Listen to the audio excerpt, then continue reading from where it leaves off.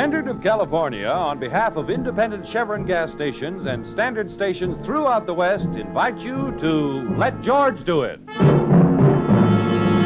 Another adventure of George Valentine. Personal notice. If it's so fantastic you can do nothing about it yourself, then you've got a job for me, George Valentine. Write full details.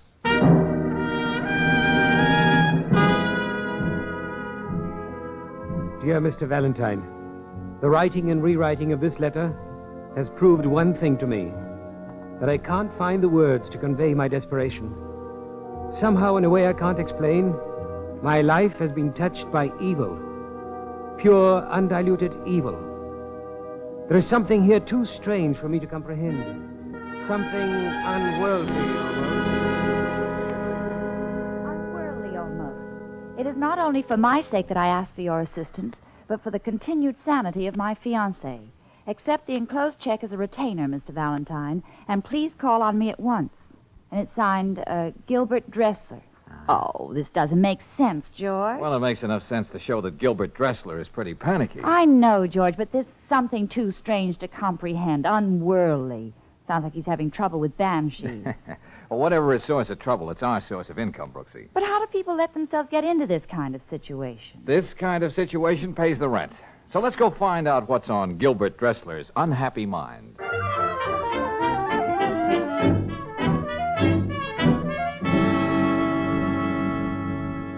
In my ten years on the desert, Mr. Valentine, I've witnessed events that would freeze the very marrow in your bones. Yes, I'm not doubting your word, Mr. Dressler. Terrifying events. Things that are only spoken about in whispers, behind locked doors. Yes, but let's be a little more specific. Magic. Voodoo, if you will. An evil beyond evil. They're right here in your own city. But why are you hiring us? Yes, Mr. Dressler. You mentioned something about a fiancée in your letter. What about her? Yes, Gabrielle. I love her. Oh, we're sure of that, Mr. Dressler, but you also wrote something about fearing for her continued sanity. What makes you think her sanity won't continue? Margot. Hmm? Margot, what's that supposed to mean to me? Oh, forgive me. I was referring to Madame Margot. She claims she's a medium. I claim she's a purveyor of black magic. Well, now we're getting somewhere. You're trying to tell us Gabrielle, your fiancée, is somehow being influenced by this Madame Margot. Yes. How? Why, why, uh, she's taking all her money away from her. Oh, how long has this been going on? Since Gabrielle's mother, Mrs. Turner, died. Oh, what happened? Mary Turner was cleaning her hunting rifle, and it went off. Very unfortunate. The sporting world lost a great devotee because of Mrs. Turner's accident. All right, what do you want us to do? Expose Madame Margot. That's what I want you to do. Expose her. Certainly. I've arranged for you to visit Madame Margot this very afternoon. Here, this is her card. And tonight, you shall attend a seance at the Turner Mansion. A seance. Oh, George, there's nothing I like better than an evening cavorting with the spirit world. okay, Brooksy, we'll give it a whirl. I never saw a ghost yet who didn't scream when it was pinched.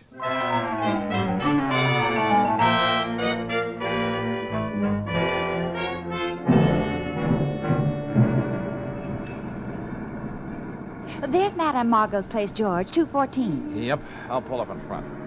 Well, one thing I'll say for George. She's not squeamish about operating in a tough neighborhood. Uh-huh. Well, looks all very proper, Brooksy, even to the neat little sign on a window. Madame Margot, clairvoyant and mentalist, seances by appointment. Okay, let's go. Well, ring the bell, George. Oh, that's a very good idea. Oh, great. Listen to that local color, will you? In a joint like this, I'll settle for nothing less than a swami. Yeah. You have been expected. Please enter, Sahib. Sahib.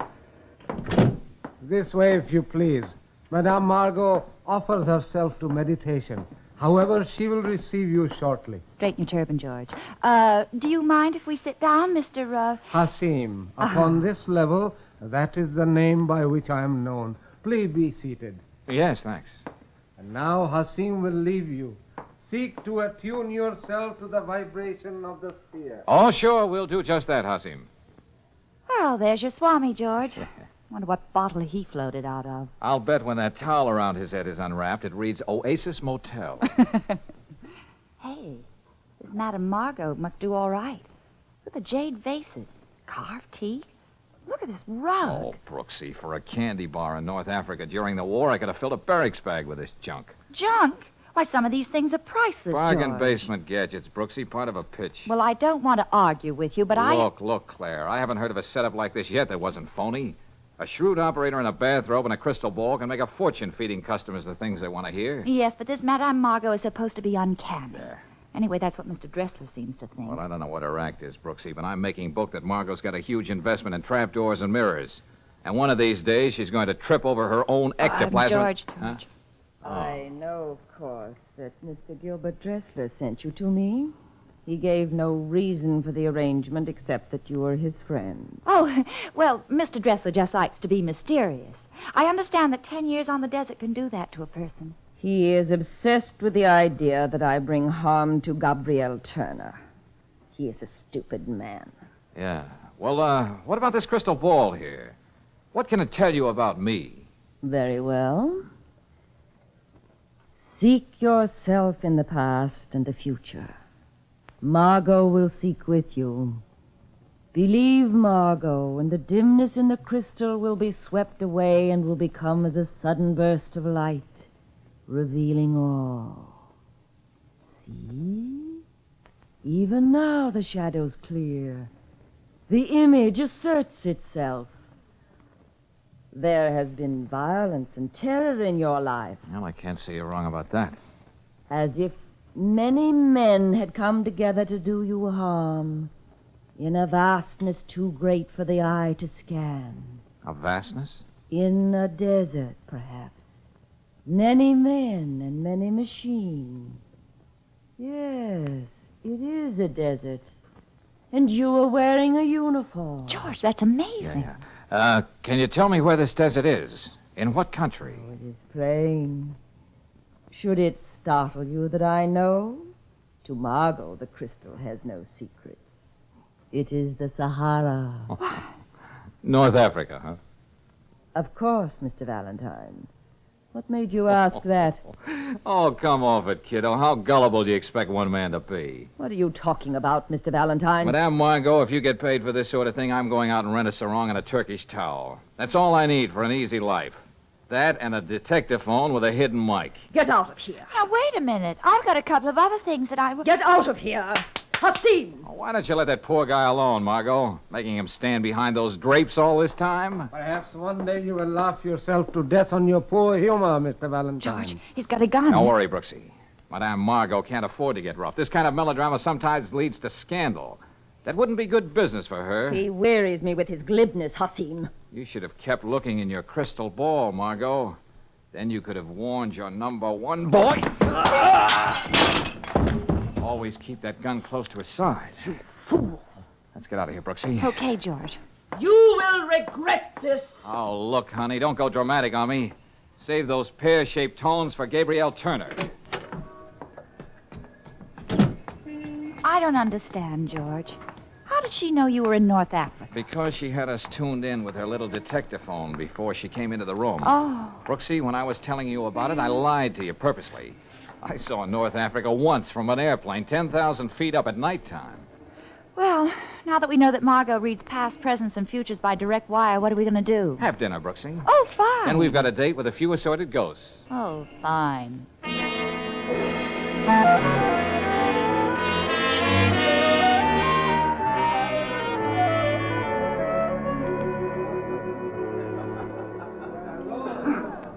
How about the rest of these people here, Mr. Dressler? Are they friends of the family, too? A cult of vultures, Mr. Valentine. Parasites of the late Mattie Turner, whose interest in spiritualism is heightened by the free champagne served before every seance. Oh, Gabrielle. Uh, Gabrielle, my dear. Uh, this is Mr. Valentine. And Miss Brooks. How do you do? How do you do? I suppose you're welcome here, both of you. Even though you've come to sneer at us. Oh, I wouldn't put it that way, Gabrielle. We're just here to take a look. There have been scoffers before. Please understand that you've been invited only because Gilbert insisted upon it. Gabrielle? Uh, oh. Oh, there you are. Have you explained to Gilbert's guests how stupid they are? Hey, where'd you get all your information, lady? I am Gabrielle's aunt, young lady, Vida Patterson. Oh. I happen to concern myself with the caliber of people with whom Gabrielle is forced to associate. What makes you think Miss Brooks is a bad influence, Miss Patterson? Oh, Gabrielle is emotionally high strung. People like you, people from the outside, upset her. Ah, from the outside. Uh, my dear, uh, the rest of the party is going into the sanctuary. Madame Margot is waiting. Oh, George, not again. Yep. Let's give the old gal another rumble.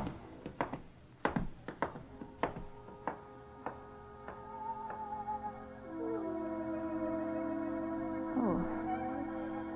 Hey, George. The hair on the back of my neck is going to look funny with my permanent. This thing is scary. Yeah, with all the trimmings. This sanctuary is a great backdrop for Dracula. Candlelight and polka music for a vampire. Have the courtesy to be quiet. Nothing must disturb Madame Margot while she reaches her control. Control? What's that? A voice, Miss Brooks. Margot's link with the spirit world. You'll see, it's very weird. The voice with which Margot speaks will not be her voice at all. Gilbert, why did you bring these people here? Hush, child, hush. There are alien presences here. Contact has been difficult, but there is a message to one who has traveled from a far place to be here. George. Listen. Listen. So many years. So much time. Gilbert. Listen to me, Gilbert. It's it's Janice. This is impossible. Please listen to me, Gilbert. Janice, what are you doing here? I thought you ran off to Cairo with Cecil. Rid yourself of those who would bring harm to Margot. They are evil. Remember, Gilbert, I've always known what's best for you, my dear. You haven't changed a bit, have you, Janice? Always showing up at the wrong time and knowing what's best. Janice, go away. Get rid of them. Get rid of those who do us harm. You never told me about her, Gilbert. You never mentioned a girl named Janice. She was always interfering. Always. I hardly expected her to pop up again, my dear. There is another message here from one who has newly passed over. She is suffering greatly. Oh, no. She has been murdered, shot. She suffers from the anguish of knowing her murder. Oh, no. I, I couldn't help it. I couldn't. Gabrielle, what is it, child? Her murderer has not been avenged. There is blood on the hands of one who has shed it. Listen. She is trying. Stop it! Make her leave me alone. I killed her, of course I killed her. Leave me alone, all of you. Oh, George. I've never seen anything like this in my life. Yeah, this time, Brooksy, the spirits have the right word for it. Murder.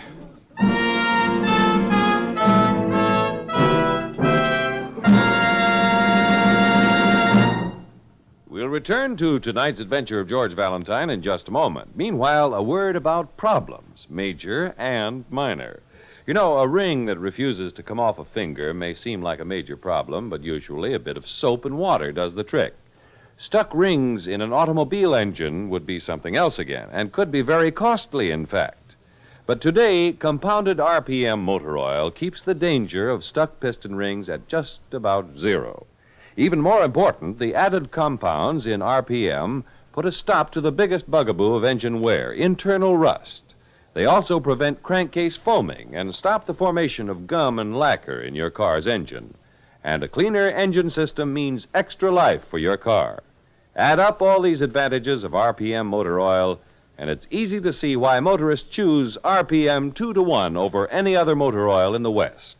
Try this premium quality motor oil tomorrow. Get RPM at standard stations and independent Chevron gas stations where they say and mean we'll take better care of your car. And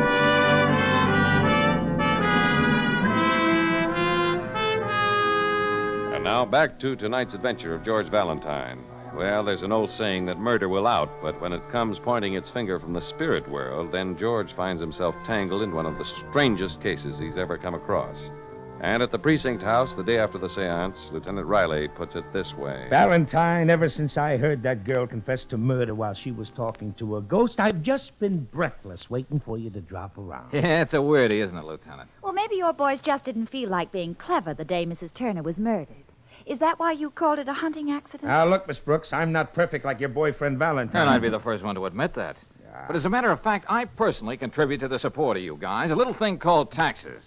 I'm just perfect enough to want a little action for my money. Valentine, three months ago, we were called in by Vida Patterson to investigate the death of her sister, Mattie Turner. We called it an accident because that's the way the setup looked. Because there wasn't any reason to call it murder. Well, whatever happened to that suspicious nature of yours, Lieutenant? Yeah. A prominent society woman is found dead, shot. A woman who surrounds herself with a house full of sponging friends. Don't you remember what your correspondence course says about a situation like that, Uh, Lieutenant? look, look. When a person is found dead with her finger on the trigger, we consider the reports of ballistics, medical examiner, and a dozen other experts. Then we fumbling police arrive at certain conclusions. In the death of Mrs. Turner, that conclusion was accidental death. Here, here. Bravo, Lieutenant. But how could so many people fumble about the same thing? Uh, yeah. Does that confession mean that Gabrielle is going to stand trial for murder, Lieutenant? Well, I doubt it. In that household of crazy people, she's the squirreliest of the lot. Unless her Aunt Mrs. Patterson isn't just a little bit ahead of her. Then Gabrielle will be committed to an institution. Yep. Yeah, she's home now under the care of a physician and under police guard. She can't even remember confessing, much less how or why she killed anybody. Uh huh. You wouldn't mind if Claire and I dropped in on the Turner family, would you, Lieutenant? Well, sure, sure, go ahead. You'll be in good company. But uh, take my advice and hide when the wagon comes. Those young interns sometimes have trouble figuring who fits the straitjacket. Lieutenant, I secretly love all men who say nice things like that.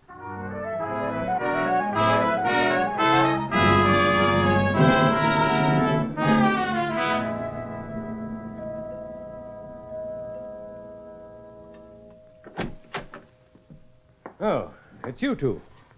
I was beginning to hope that I'd only hired you in a dream. Look, Gilbert, let's both get real grown up and face facts. You really did hire me, and we're both stuck. I'm not in the habit of paying people who bungle their jobs. It must be quite obvious that I don't need your alleged services any longer. But we haven't finished our job, Mr. Dressler. So if you will return my fee, which you have not earned. Oh, yeah, yeah. Well, let's chat, Gilbert. Mind if we come inside? I certainly do. Thanks a lot. Close the door, Brooksy. Now, look, Gilbert, you hired me to do a job. I'm not backing out of it. Why should you? You admit you failed, don't you? You don't have much room to talk, Mr. Dressler. Who was that Janice you were talking to last night? Janice is dead. She died nearly ten years ago. Ten years. Then how did she I have. dislike to say it, but even I am now convinced that Margot is not a fraud. How could she have known about Janice? Oh, it's very simple. You blurted out Janice's name as soon as Margot began to broaden her age. Yeah, it's a good thing Margot didn't drop her H's, Mr. Dressler. You might have come up with the name of some little barmaid in Soho. You're not very amusing, young lady. Now, what about Gabrielle? Where is she? They've taken her away, Mr. Valentine. Poor girl. I was deeply attached to her. Uh huh. I'll bet her aunt is overcome, too. Vida Patterson is a remarkable woman. She buries her sorrow in her books Books, ledgers would be a better word. Where is she? in the library. She explicitly informed me that she wishes to grieve. Well, now, that's very touching. Come on, Claire. Oh, what is it, Gilbert? I told you I wanted no interruptions unless it's absolutely necessary. It's absolutely necessary. Oh. Oh, it's the intruders again. Yes, I hate to take you away from your tears, Miss Patterson, but there are a few questions I want to ask you. And by what right? You're not the police. Oh, this won't take long. Just a moment of your lonely time, and you can go right back to eating your heart out. What is it you want? I want to know a little bit more about the murder of Mattie Turner. It was murder, wasn't it? Oh, imagine the ingratitude of the child. Killing my poor sister after all the wonderful things we've done for her. Oh, yes, yes. She was so overcome by those wonderful things, she can't even remember killing your sister. Oh, Gabrielle has lapses of memory. An unfortunate trait which she inherited from her father's side of the family. Oh, well, this wealth you were talking about, what happens to that? Oh, how can you mention money at a time like this? well, let's mention it anyhow. Who gets it? well, of course, Gabrielle inherited the mother's estate, and now that she will be declared insane, why, I suppose I. Well, I don't know. I, I've never given it a thought. No, I'll just bet you haven't. Well, thanks a lot, Miss Patterson. I just know it'll kill you every time you spend a penny of all those thousands of dollars. Get out of here! Miss Patterson doesn't like us, George. Yeah, we've got crazy ideas, Brooksy. All right, come on. Let's go see whether one of them will pay off.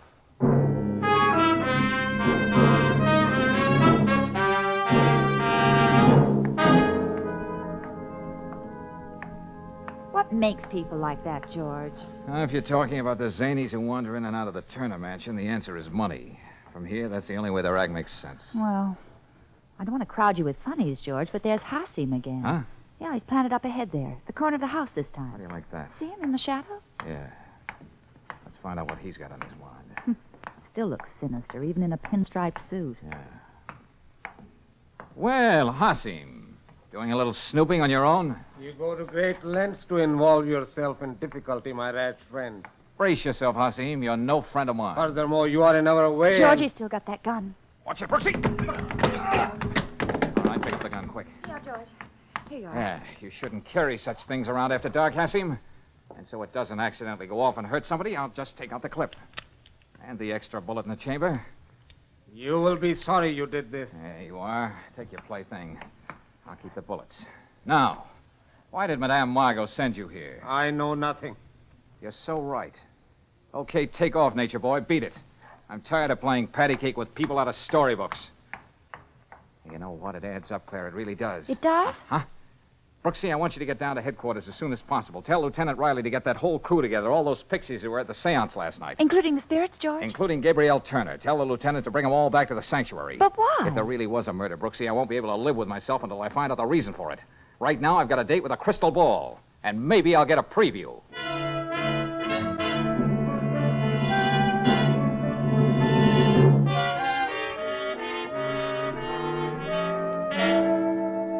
Margot, in the jargon of the street, your chances aren't worth a dime. Stop speaking in riddles, Mr. Valentine. What's on your mind? You are, Margot. Madam, accessory after the fact, Margot. The fact being murder. If I were acquainted with your brand of humor, perhaps I would be amused. I doubt it.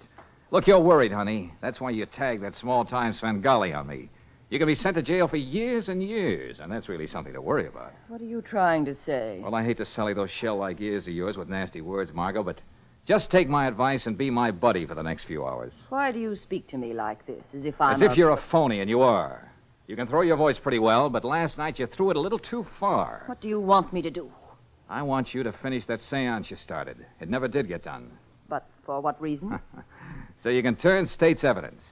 Now, a clever girl like you can appreciate a good twist. Mm, I think I understand. Yes, I think you do. So let's not keep the cult waiting, Margot. Besides, Lieutenant Riley is a very impatient man.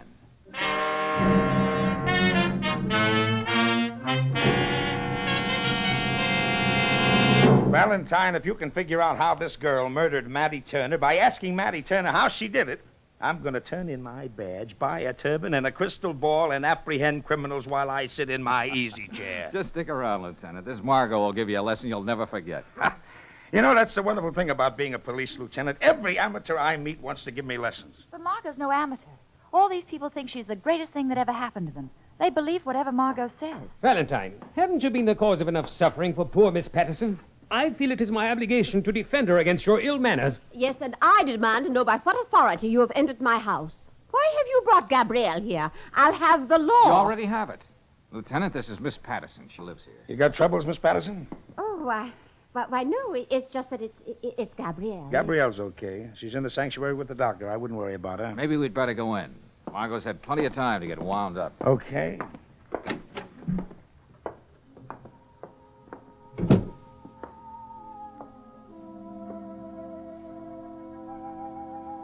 Hello, Gabrielle. How do you feel? I don't understand. This all happened before, long ago. A very long time ago. Yes, now you're all right. Just take it easy. I really didn't mean to. I didn't hate my mother, you know. Just sit tight, Gabrielle. And whatever happens, don't say anything. You understand? Don't say anything. Of course. Of course, I understand. I killed her, but I didn't mean to. Tonight, for the last time, we seek to journey together into a strange land. A strange land where familiar faces and forgotten dreams dwell without perishing. Already the vapors which cloud our way are cleared.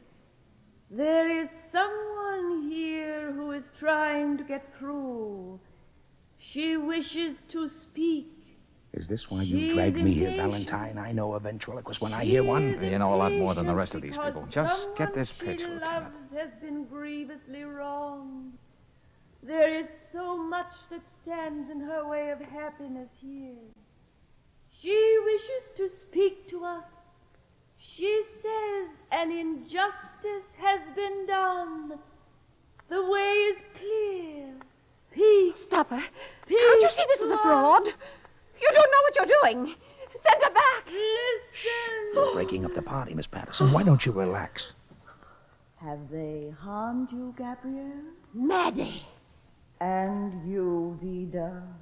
All that blood. Oh. Your sister's oh. blood. Mine. Murder. Oh, stop it. Stop it, please, please. Murderous. You watched me die. Death becomes you, my sister. Oh, send her back. Oh, let's stop it. I did it. I did it. I killed her. I killed her. I'll take over from here, Valentine. Well, how about that, Brooksy? A killer trapped by a ghost. Only there wasn't any ghost.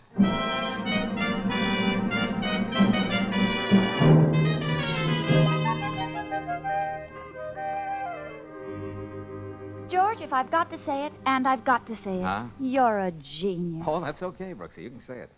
But all I had to know was that Margot was a phony, and Vida Patterson thought Margot was always on the level. Except once, that is. Astound me, genius. What do you mean, except once? Vida paid Margot to produce Mattie Turner and frighten Gabrielle into confessing. Why should Gabrielle confess to a murder she didn't do? Brooksy, there's a lot of evil people in this world. Vida Patterson is one of them.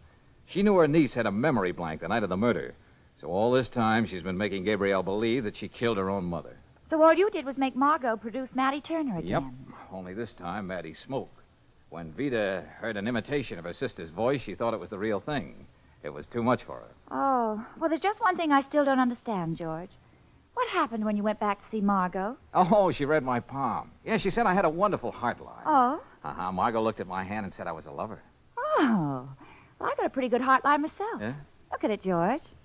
Yeah. You know what I think, George? No, tell me what you think. Well, I think we ought to get our heart lines crossed and see what happens.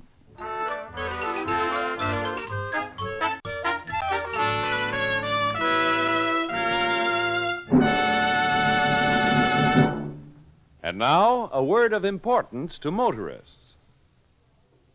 Maybe you've run into the kind of motorist who always says, grease is grease, and it doesn't matter where you take your car for lubrication service.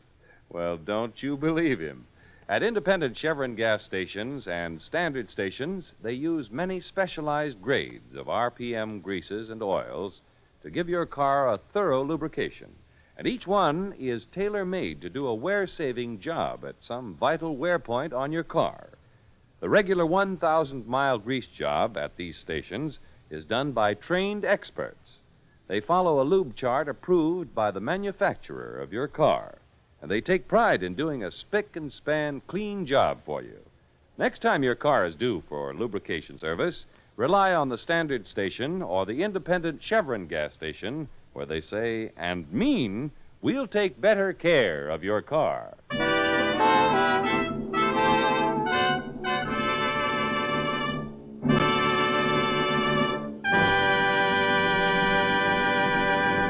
Next week, when you tune our way for another adventure of George Valentine, you'll hear. Hey, Brooksy, tell me something. Yes, George? How would you like to play Cigarette Girl at the Kit Kat Club tomorrow night? You mean in one of those fluffy short skirts and long black stockings? Yeah, the works.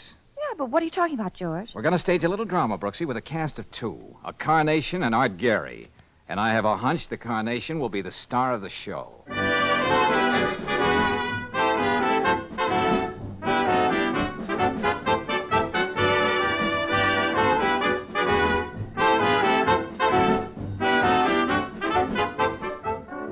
Tonight's adventure of George Valentine has been brought to you by Standard of California on behalf of independent Chevron gas stations and standard stations throughout the West. Let George Do It stars Robert Bailey as George with Frances Robinson as Claire. Wally Maher appears as Lieutenant Riley. Tonight's story was written by Morton Fine and directed by Don Clark. Also heard in the cast were Don Morrison as Gilbert, Irene Tedrow as Margot, Sarah Selby as Vida, Jeanne Bates as Gabrielle, and Lal Chand Mehra as Hasim. The music is composed and conducted by Eddie Dunstedter. Your announcer, John Heistand. Listen again next week, same time, same station, to Let George do it. This is the Mutual Don Lee Broadcasting System.